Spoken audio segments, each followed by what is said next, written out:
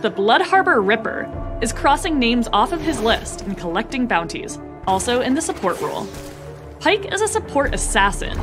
While most supports protect their allies and thrive in lane, he can be anywhere and everywhere, waiting for the right moment to secure the kill.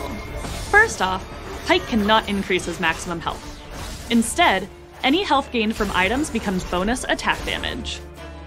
His first ability, Bone Skewer, can be charged to throw out his harpoon and yank an enemy towards him.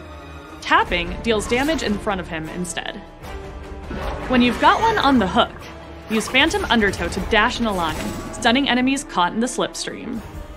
With Ghostwater Dive, Pyke gains movement speed and invisibility. It grants him the perfect opportunity to slip away from the dragon lane and roam around the map undetected. When stealthed, his passive allows him to regain health quickly.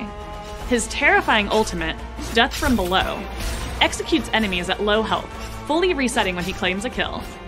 While he might not be a traditional support, Pyke isn't entirely selfish. Death from Below grants extra gold to the ally who gave him some backup. If Pyke's teammates help him hunt down a target, he'll make sure they get their cut.